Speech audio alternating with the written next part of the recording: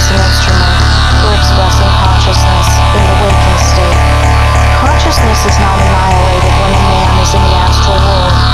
It is only temporarily suspended, just the same as in the case of death.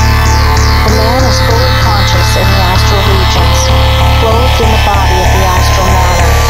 This astral body is in the physical and extends little beyond it.